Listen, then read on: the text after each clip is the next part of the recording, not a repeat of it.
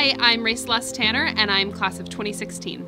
My Mary Wash education gave me a passion for the liberal arts and a passion for taking my education and going into the community to give back. I gave back because if others had not given back before me, then I probably wouldn't have had the opportunity to come here. Join me in giving back on Mary Wash Giving Day.